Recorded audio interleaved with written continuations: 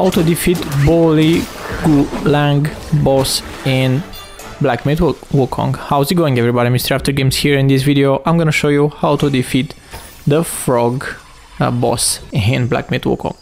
So you need to be in chapter 1, Bamboo Grove, Snake Trail. And I'm gonna show you from that point. So when facing this fast travel point, jump over the cliffs on the left to get to the lower area where a river is. Turn left, follow the river to the end to find this boss. This is one of the easiest uh, bosses that I, I faced.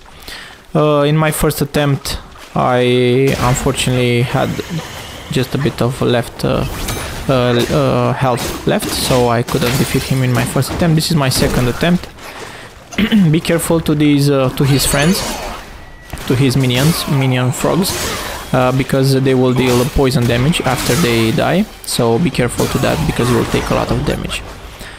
Uh, as I said in the beginning, this boss is a big toad. Its attacks are very weak. It barely, barely deals any damage. Try to attack its head from the front as that is the weak point. So if you have a um, heavy attack, that will be uh, very, very good to attack its head. Use your spells to defeat it quickly and heavy running attacks for lots of one hit damage one of the easiest bosses in the game. After you defeat the frog boss, you will get 384 will, 1 stone spirit, tadpole, which is one of the materials, and Boli Gulang spirit, which I'm gonna show you uh, what, what it will uh, help you. Uh, also, for you to know, you can upgrade all the spirits uh, later on in the game uh, you can capture them. I'm gonna show you that in how to do that in a different video. And uh, please check out the other videos that I posted because uh, they will help you defeat uh, the bosses in the game. There are, if I if I counted correctly, 81 bosses in in the game.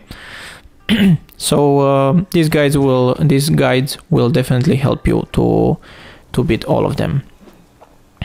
Now, if you go, as I said, to a shrine in uh, any shrine, uh, you will see here uh, that you have the spirit, the spirit skills.